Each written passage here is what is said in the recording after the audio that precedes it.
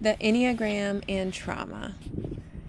So, as we have begun this semester of learning more about van der Kolk's work and Siegel's work and Wallin's work, I have been very interested in learning more about how my passion for the Enneagram can be integrated into the trauma work that we will do as counselor educators and professionals within this field. What I would like to cover within this video is aspects are aspects of my paper, which are the topics listed here. The Enneagram, just giving you a basic overview of what this compassion tool, personality inventory, whatever ways in which people describe it, um, just the basics of what this looks like with in regards to the the conversation that we'll have within this video. The Enneagram and interpersonal neuroplasticity, along with polyvagal theory as it meets and integrates with the Enneagram. We're also going to talk about attachment in the centers of intelligence and then what it looks like to balance these centers of intelligence. Lastly, we will talk about the benefits of utilizing the Enneagram within trauma work. As we begin to understand a little bit more of the Enneagram, I wanted to share this video with all of you. However, the length um, is a little long, so we're going to watch the first part. The first part is a brief introduction to the Enneagram, and it's going to showcase why I find this to be such an integral part of trauma work and how I have been able to kind of have an overlay of the work that we have been talking about um, and aspects of the Enneagram. The second part of this video covers more um, involved aspects of each type, which is not the goal of this of this presentation. So I'm going to stop this um, after this just brief introduction.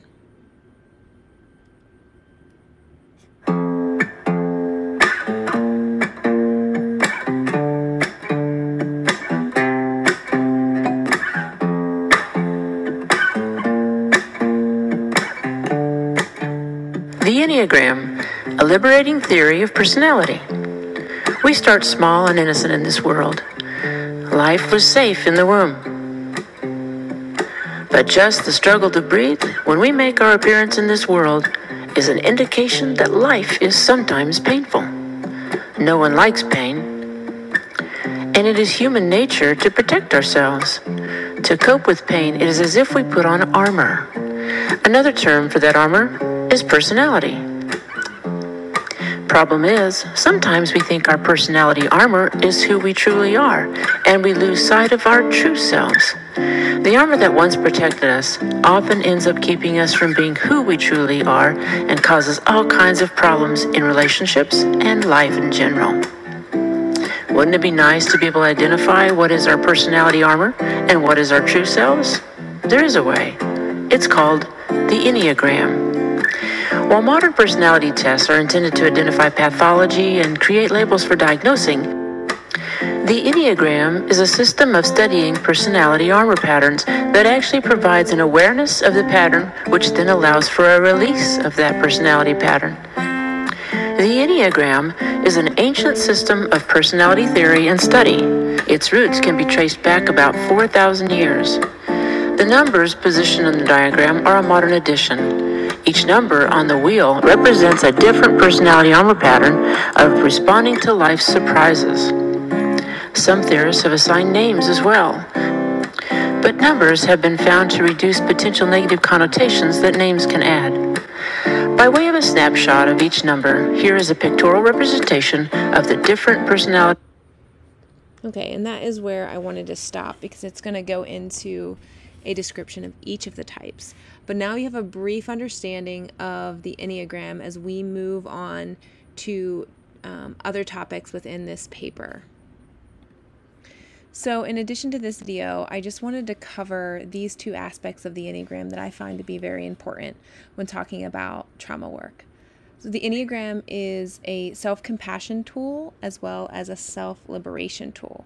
So, as we think about the work around trauma, this idea of self compassion is so important as clients start to unravel their trauma stories.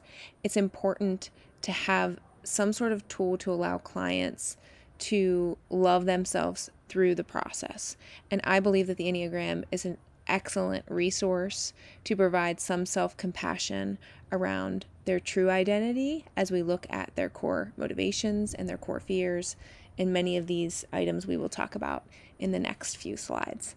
This self liberation tool is also an aspect of the Enneagram that I believe is truly at the heart of trauma work.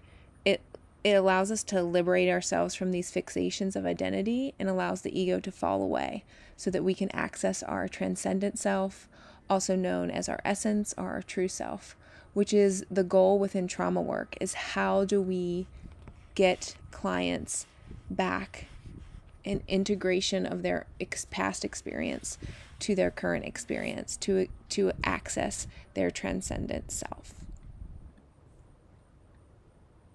So, moving on to the topic of the Enneagram and interpersonal neuroplasticity.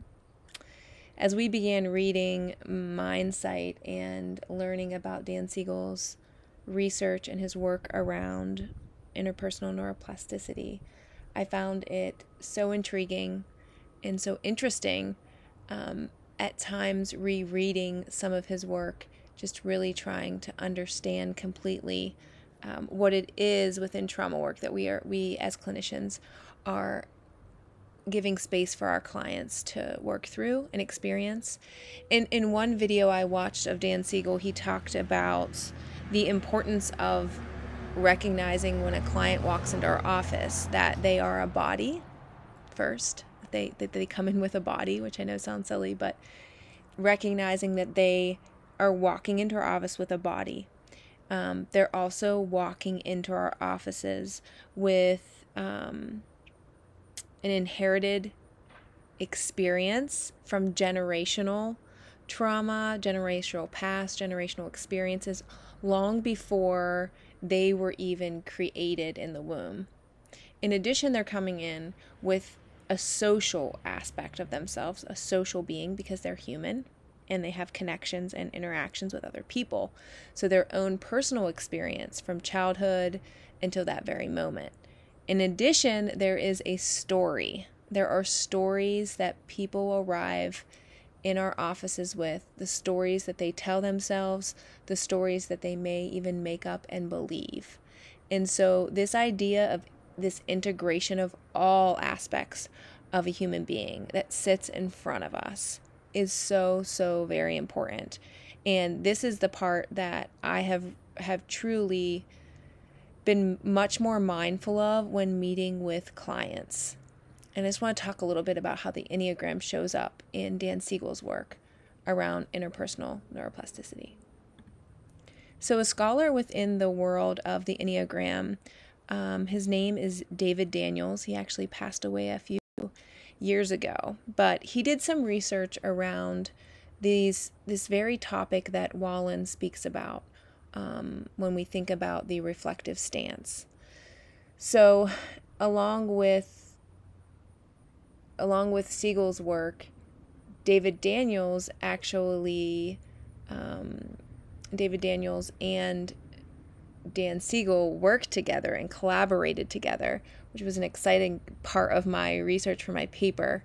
I was having a, um, I don't know what kind of moment you want to call it, maybe a doctoral student nerd moment where two of two people within the research of two of my passions counseling and the enneagram i didn't realize that they had done some work together so um, this is actually the work of David Daniels from the Enneagram, where he came up with the five A's in in allowing allowing people to to work through this process of going from reactive to reflective. And this is also the work of Wallen. This is also around the work of Siegel in the the reflective stance that we want we want clients to be able to get to. So, David Daniels mentions these five A's, which are awareness, acceptance, appreciation, action, and adherence. And the first two are the ones that I wanted to just highlight um, and that those are the two I highlighted within my paper, is this idea of awareness and this idea of acceptance, which is the which are key to moving from reactivity to reflectiveness. And I'm going to talk a little bit more about that in the next couple slides. So, these were two quotes from Wallin that I found to be particularly important when I'm considering how the Enneagram can be helpful in trauma work. With a reflective stance, we can step back from the immediate reality of our experience and respond in light of the mental states that might underlie it or mentalize. In addition, Wallin said that with great freedom to mentalize, we are less likely to be inescapably gripped by emotional reflexes laid before us in the courses of our first relationships. To, to give a better understanding of what this reflective stance looks like through the lens of the Enneagram, I wanted to share my own personal experience with each of you and why I have such a passion of wanting to integrate this into my work as a counselor, as a counselor educator, and preferably within the work that I will do with clients around trauma.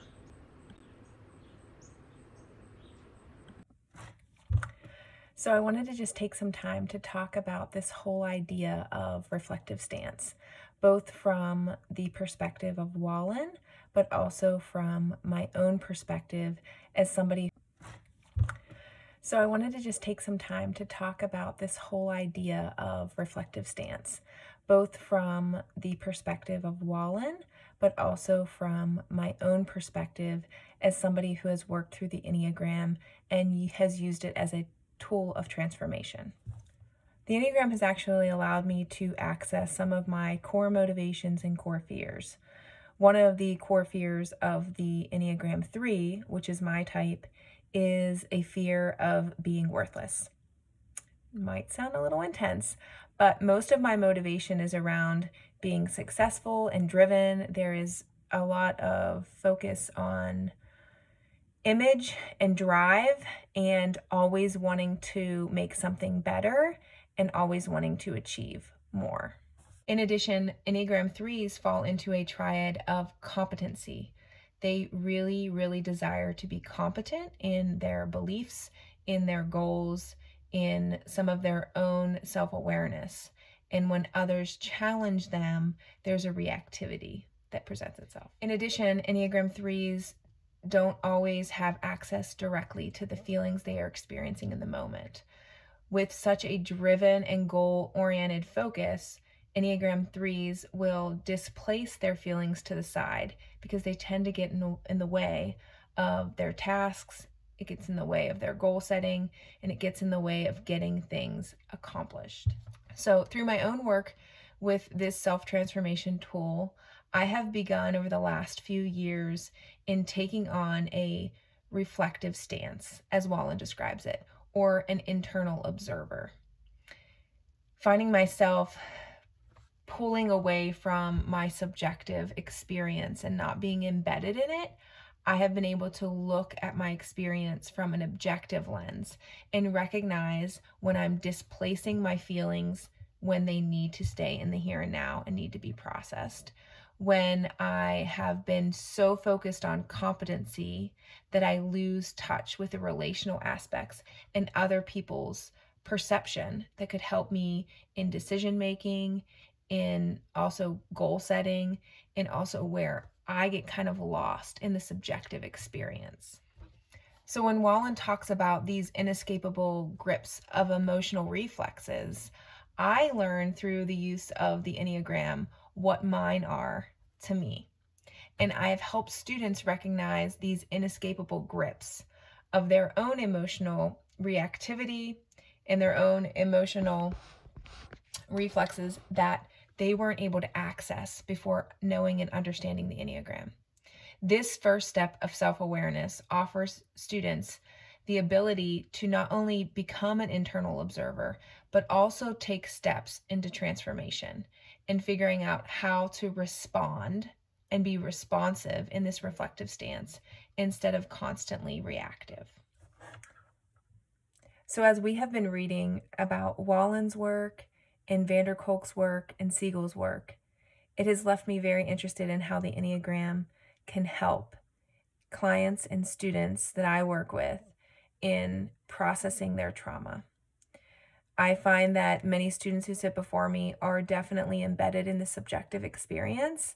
And with the use of the Enneagram, at least my own experience, and those who I have witnessed around me, have been able to take themselves from this subjective, embedded stance into a mentalizing, into an integration of their experiences, allowing themselves to become internal observers of what is really happening for them personally through their trauma and through their reflective um, impulses and instincts, and finding themselves in a place where they can begin to have a self transformation, a place where they can integrate their trauma experience into their here and now, and also be more mindful of what is happening in the present moment.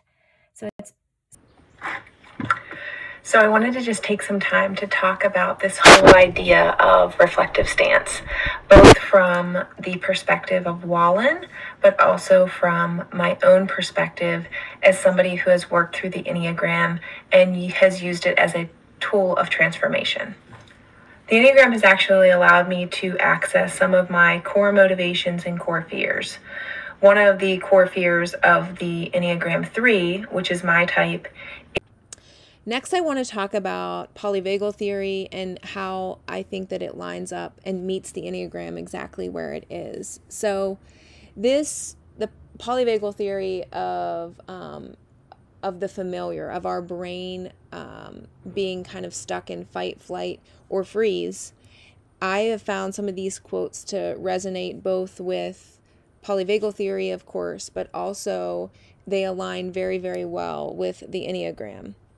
So the definition of insanity is doing the same thing over and over again, but expecting different results. Of course, is crossed crossed out in this quote that I have here. And the one that is left is our minds seek the familiar.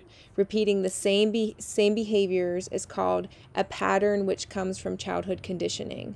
We repeat what we know. And so I thought this was a good description of polyvagal theory in a very um, just be able to picture it and understand it well. That familiar, our brains definitely um, pick up on these same behaviors and patterns, and we often just repeat what we know. It's not always um, that we even make the conscious choice or de- decision, but our brain doesn't have the ability to say, oh, this isn't the same thing that you experienced. It just knows that it's a similar experience and this is how we're going to respond and this is how we're going to behave. I also like this picture here about trauma responses and how what they can look like and how they can show up. Um, feeling responsible for others' happiness, saying yes because you're scared of losing security, chronic feelings of emptiness. I'm not going to read all of them.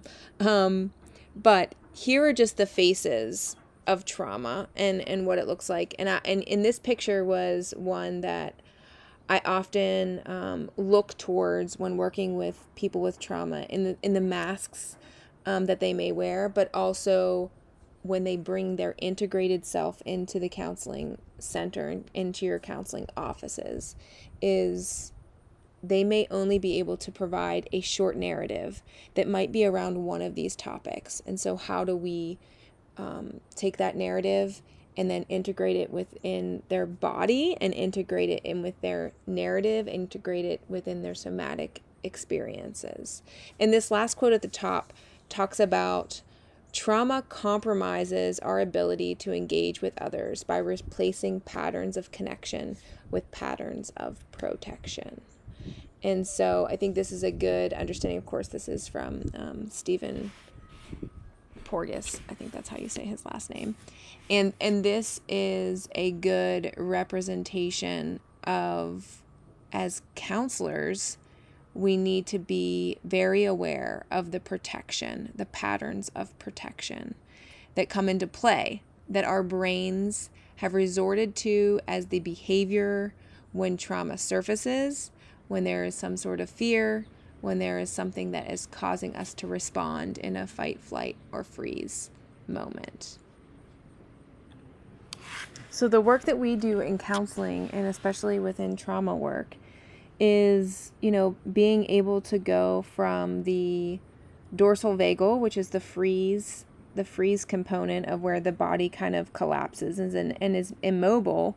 And often, where, where people within trauma will experience some shame, um, some hopelessness, and, and there will be kind of a, an entrapment or shutdown mode, um, feeling very overwhelmed, into the sympathetic nervous system, which often responds with um, a fight or flight. So either moving away or moving towards. And this also brings up um, a lot of emotions around which we see often with our with our clients of panic and fear and anxiety and irritation and frustration and there is a little less overwhelmed emotion um, compared to the freeze but there is still not this social engagement of the ventral vagal um, nervous system, which allows for our clients to respond with more openness and curiosity and compassion and mindfulness. And this is where I feel like the Enneagram is really helpful from allowing our clients to maybe transition from the dorsal vagal or the sympathetic nervous system into the ventral vagal because there is this self compassion tool to the Enneagram and there is a groundedness in understanding ourself in a way that is compassionate versus there is something wrong with me. Next, I want to talk about attachment and centers of intelligence. So, within the Enneagram, there is a triad of, of intelligences, and there are three. And this was actually covered in um, my lecture in Dr. Nacita's class, so many of you are going to recall this. But um, it, it looks similar to what I showed in my presentation um, last week with Dr. Nacita.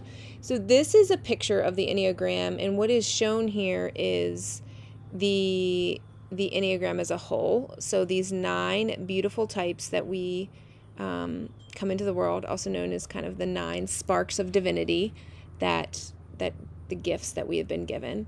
And there are three centers of intelligence. So there is the doing center, and there is the feeling center, and there's the thinking. So this triad of numbers tends to filter their world through their body. Um, they have a gut intelligence.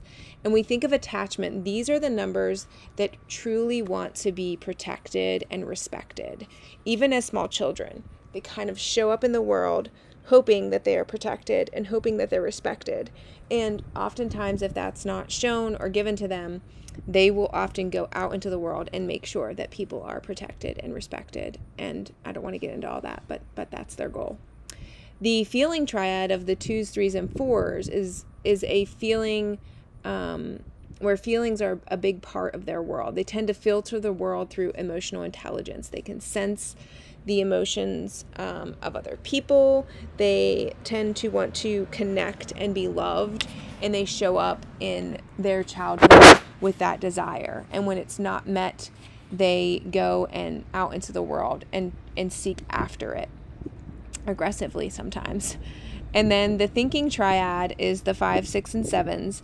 And this center of intelligence tends to filter the world through their mental facilities. They are very much looking for um, the practical and the objective, and they're the problem solvers of our world. And they also really want to be acknowledged and seen. And this shows up in childhood as well the work of David Daniels and Siegel actually um, came to be that they, they saw that if these centers of intelligence were balanced, that a more secure attachment could be found.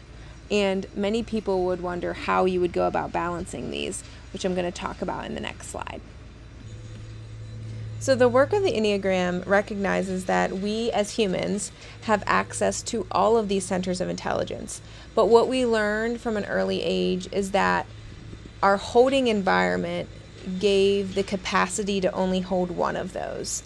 And so we lead pretty strongly with one of these centers of intelligence that it becomes kind of our dominant, kind of walk through life with this dominant intelligence and have oh. access to the others. We have access to the other intelligence, but it, but it's not an automatic.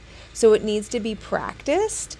And when there is a balancing, so if we think of like a three-legged stool, if if there is balance to all three of the, these, there can be a transformation. There could be a, a personal transformation into a more secure attachment. There is also great wisdom in being able to balance all three of these. So, when we're thinking of balancing these, this is the idea that we become these internal observers and we can detach ourselves slightly from our dominant center. So, for myself, I'm in the feeling center, and so I can, as my um, short story shared, I can be very embedded in the subjective experience all the time. And so the goal for me is to recognize when I am embedded and how I need to I need to pull myself out and put on my head center of intelligence. So what am I actually thinking? Because I know what's happening feeling wise with myself with other people constantly. But what does it look like to think through? What does the headspace say?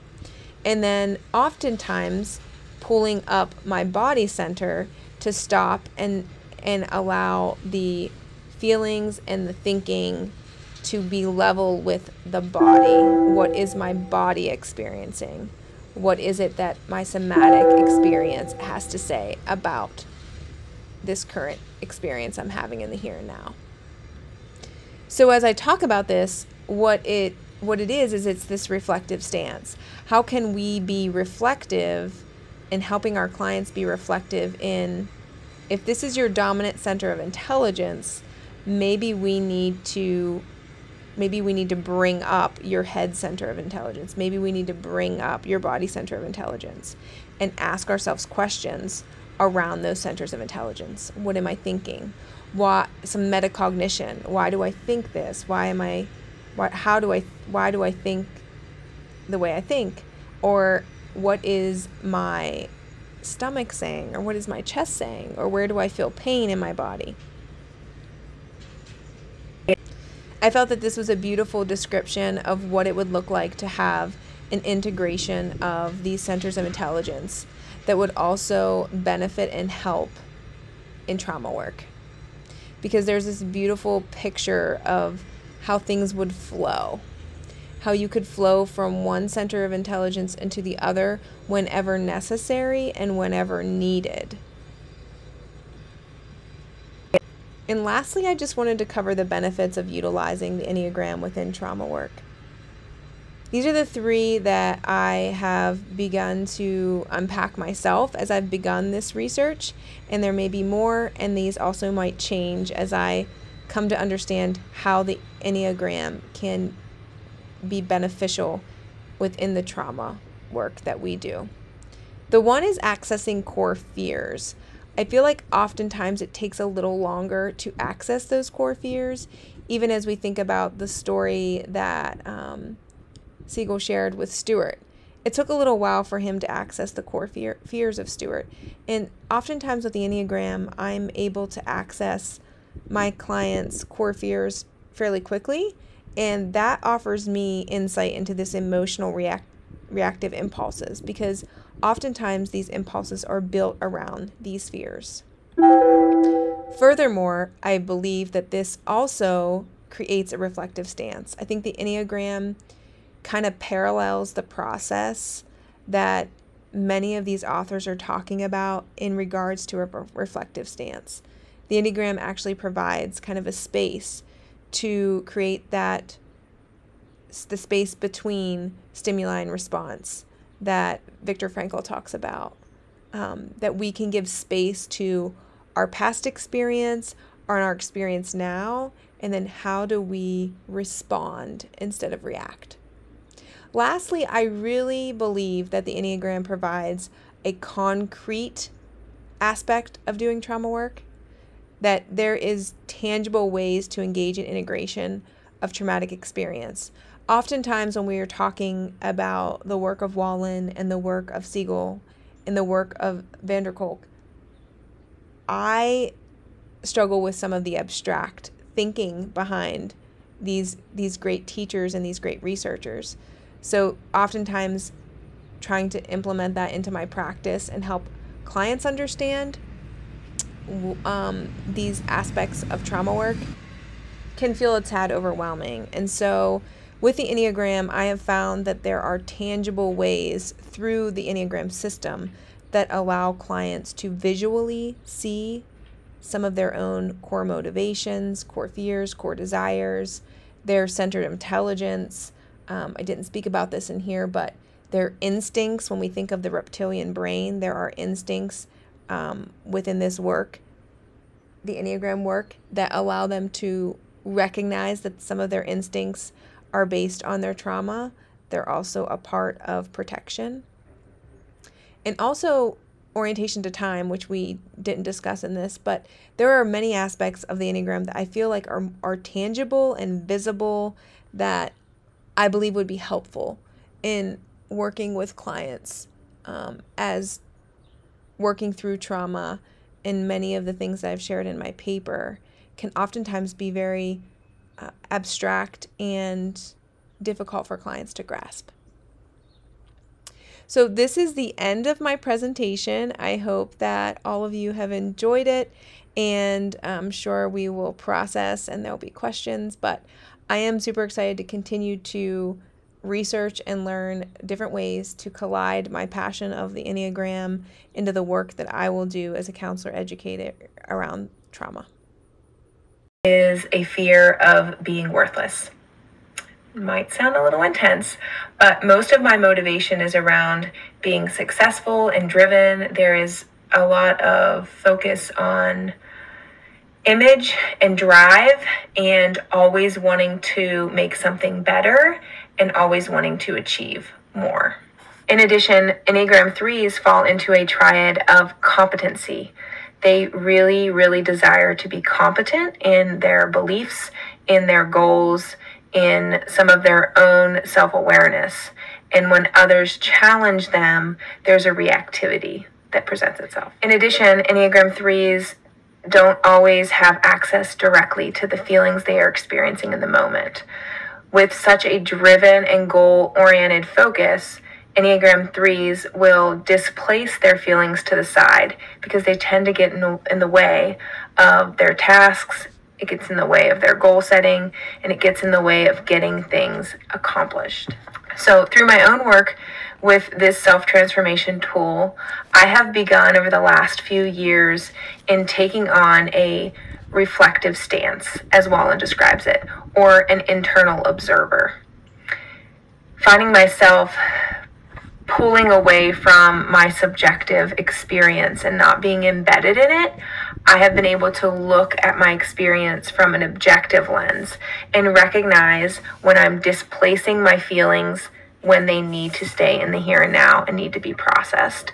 When I have been so focused on competency that I lose touch with the relational aspects and other people's perception that could help me in decision making, in also goal setting, and also where I get kind of lost in the subjective experience. So when Wallin talks about these inescapable grips of emotional reflexes, I learn through the use of the Enneagram what mine are to me. And I have helped students recognize these inescapable grips of their own emotional reactivity and their own emotional reflexes that they weren't able to access before knowing and understanding the Enneagram. This first step of self awareness offers students the ability to not only become an internal observer, but also take steps into transformation and figuring out how to respond and be responsive in this reflective stance instead of constantly reactive. So, as we have been reading about Wallin's work and van der Kolk's work and Siegel's work, it has left me very interested in how the Enneagram can help clients and students that I work with in processing their trauma. I find that many students who sit before me are definitely embedded in the subjective experience. And with the use of the Enneagram, at least my own experience, and those who I have witnessed around me, have been able to take themselves from this subjective, embedded stance into a mentalizing, into an integration of their experiences, allowing themselves to become internal observers of what is really happening for them personally through their trauma and through their reflective um, impulses and instincts, and finding themselves in a place where they can begin to have a self transformation, a place where they can integrate their trauma experience into their here and now, and also be more mindful of what is happening in the present moment. So it's super exciting to find ways in which the Enneagram can help students help clients with this process of trauma and helping them heal from their own life experiences. So that was just a a little um, a brief picture snapshot of my experience and how the enneagram has helped me in my own in my own trauma um, of my own narrative and has allowed me to begin some self transformation and has allowed me to not be as embedded in the subjective experience that we've talked about.